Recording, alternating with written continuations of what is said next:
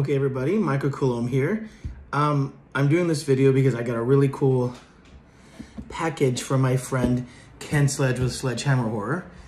And I thought I'd do an a fun unboxing video. I'm even wearing my Sledgehammer Horror sweatshirt that is available through his website. So, um, here's the package. I'm showing the back because the front has all the addresses, but here's the package. So it's actually fairly good size. Um, so I have scissors and a letter opener because I don't know which one's going to be easier. Now I do know what this is um, because he did post about it on his site. Um, and I'm just really excited that he thought of me enough to get me one. So here we go. If I can do it, he'll do it like this so I can stand. So I'm taking off the top here. Sorry, I'm not really good at unboxing videos. I don't do them very often, so. Um, so here.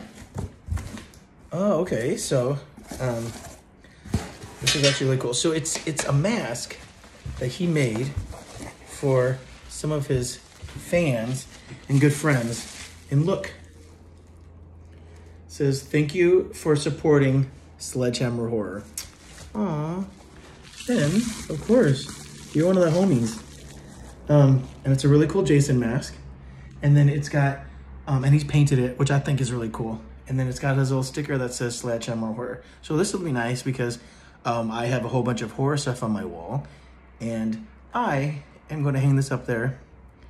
And uh, yeah, it'll be part of my collection. And I'm honored and, and, and grateful to it. And of course, uh, you'll always have my support.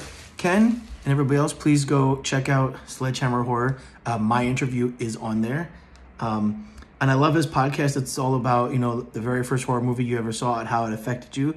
And one of the first ones I ever really remember ever seeing when I was a kid was Gremlins, directed by Joe Dante. And I met Joe Dante on many occasions. I've even worked with him. Uh, one of the nicest guys. So, you know, loving that movie, growing up with it, and then meeting him has made it better. So I talked about that on Ken's show. Um, and because of his podcast and our love for horror, Ken and I have become really good friends. So, so this is uh, greatly received, my friend. Thank you so much and have a great day.